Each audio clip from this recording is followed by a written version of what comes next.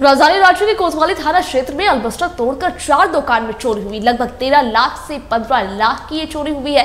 पीड़ित दुकानदार से बातचीत की हमारे संवाददाता मुर्शिद आलम ने देखी गई रिपोर्ट।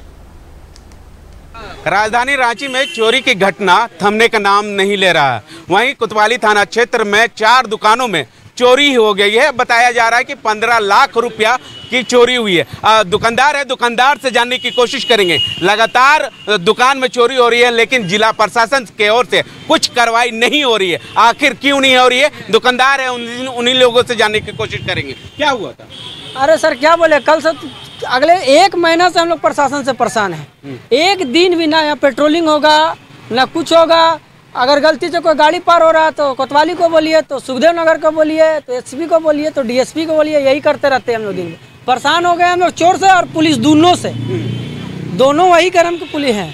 तो विश्वास किसके ऊपर? बस अपने ऊपर रखना होगा रात को यहाँ से चौकीदारी करना होगा। ऐसे ही थोड़ी मोदिया बोला था हम खुद चौकीदार है। सिक्के बोला था वो हाँ।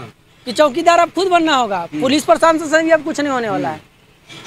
क्या लगता है कि आप लोग लगातार आपके दुकान में चोरी हो रही है? लगातार पुलिस के पुलिस के थाना दौड़ रहे हैं। थाना परिवारिक की ओर से कुछ कार्रवाई भी नहीं हो रही है। हम लोग क्या कर सकते हैं सर? थाना में जाकर धरना प्रदर्शन तो कर नहीं सकते हैं। वहाँ काम करें कि यहाँ काम करें?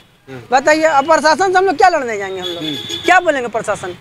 प्रशासन सीधा बोल देता है कि हम लोग कर रहे हैं देख रहे हैं बस। क्या कहिएगा भैया? आपके दुकान में भी चोरी हुई है और उसके बाद जो है जिला प्रशासन के थाना गए थे जिला प्रशासन की ओर से। क्या कुछ कहा गया है? क्या कुछ आश्वासन मिला है? आश्वासन कुछ नहीं मिला। मिला है यही कि अच्छा देख रहे हैं।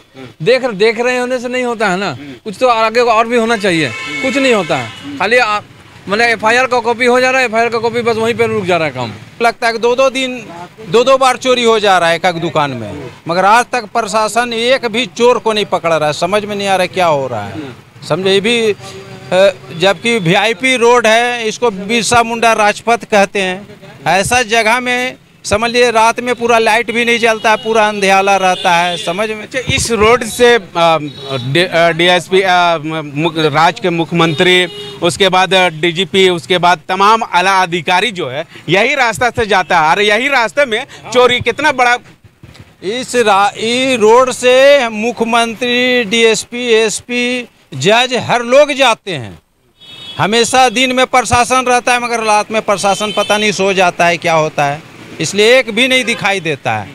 अगर बोल तो रहे कि प्रशासन अगर जाग जाए तो हम लोग भी ये जो चोरी है बंद हो जाए अगर हम लोग भी चैन से सोएँगे हम लोग को रात में आके यहाँ निगरानी नहीं करना पड़ेगा। जी बिल्कुल। अब देखना होगा कि हालाँकि अब जिला प्रशासन की ओर से ये दुकानदार जो है जो आश्वासन दिए रहे बार बार जो कोतवाली थाना प्रभारी या सुखदेव नगर थाना प्रभारी की ओर से। लेकिन आश्वासन कब तक? दुकानदार कब तक घर छोड़ करके दुकान का निगरानी कर सकते हैं?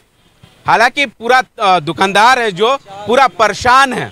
अब प्रशांत से कब तक कोतवाली थाना प्रभारी या सुखदेव नगर थाना प्रभारी? कब तक इन लोगों को राहत मिलती है या नहीं? ये आने वाला समय ही बताएगा। सहयोगी परवीन के साथ टीवी 45 मुर्शिद रांची।